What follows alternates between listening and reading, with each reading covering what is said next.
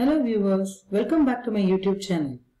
In this video, we are going to see the learning outcome in class 3 under the concept numbers. Let us quickly brush upon all the concepts that will appear in class 1 to 5. So here they are. They are numbers, mathematical operations on numbers, shapes and patterns, time, money, measurements, and data handling. All these concepts appear starting right from class 1 and the depth and complexity of these topics increases as the child goes into higher classes.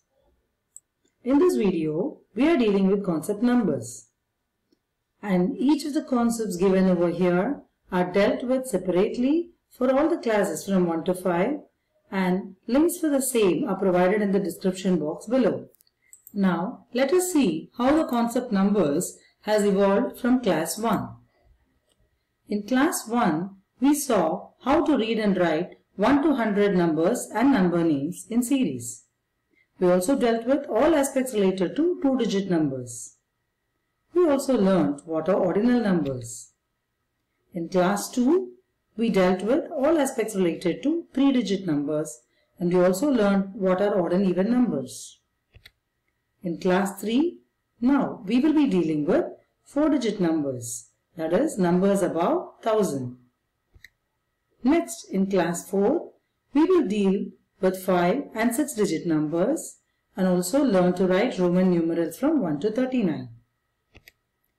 And in class 5, we will deal with 7 and 8-digit numbers and Roman numerals from 1 to 100. Now, let us take a detailed look at the learning outcome in class 3 with respect to the concept numbers. Dear viewers, at the end of each learning outcome videos like this one, I have included a thought-provoking question for you to answer in the comment section. Please travel with me to the end of the video to see the question and answer the same. So, the first topic we will be seeing is the place value concept. Here, we will be dealing with ones place, tens place, hundreds place and thousands place.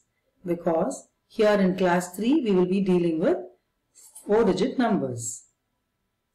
In class 2 we saw till place value concepts ones, tens and hundred as there we were dealing with only 3 digit numbers. Here we will also be looking into the thousands place value. The next topic that we will be dealing with is numbers beyond 1000. There are few activities that we will be covering here which I will be showing you.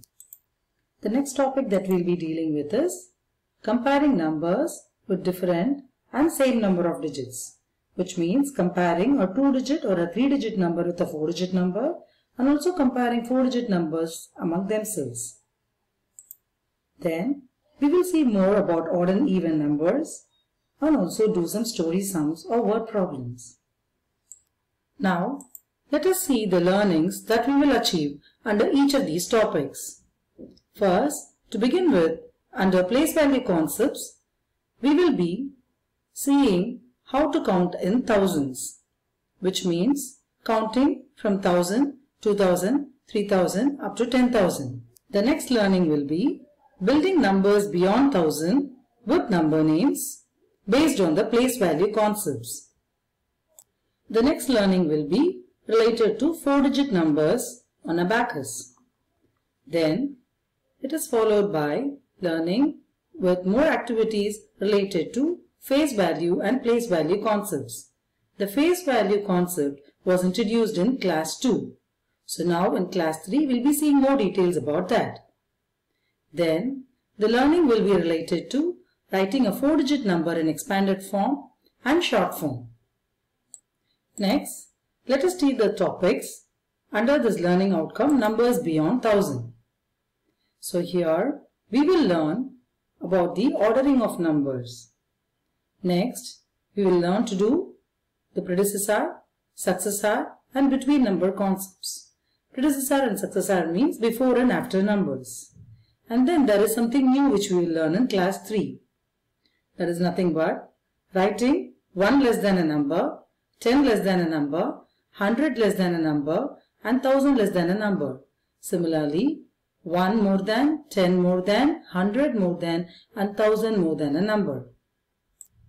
Under the topic Comparing numbers with different and same number of digits, the following learnings are achieved.